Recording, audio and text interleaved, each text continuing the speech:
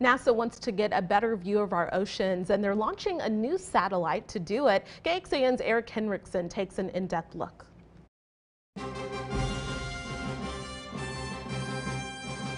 NASA wants to get a better look at our oceans and waterways.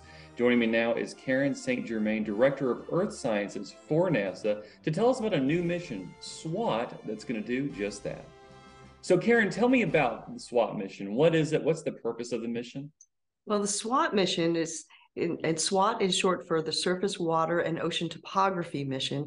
SWOT is a, mission that will measure the height of water around the world. That means our global oceans, but also inland water, lakes, rivers, and reservoirs at a fidelity we've never seen before. And so, when we're talking about ocean topography and water levels, I've always assumed ocean's just flat. It's like one level. Is there variations in topography around the world? Yes, there are large variations in, in the ocean topography. The oceans are, are very dynamic and uh, with, with currents and eddies that carry heat and, and nutrients around the world.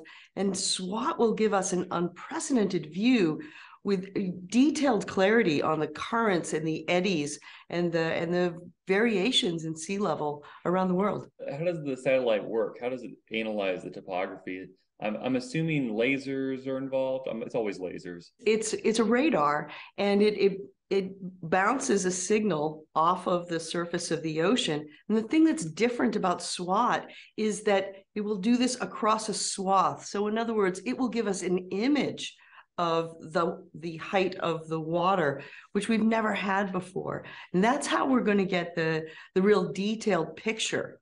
So you know images from space tell us where there's water. What swot is going to do is tell us how much is there how high those water levels are. And finally i want to touch on why people should care. Why should people care about what the water in our world looks like from space and what the levels it is? Well, our Earth is a water planet, and uh, and the water cycle, that is to say, uh, water that moves from the oceans through the atmosphere and onto land that supports life.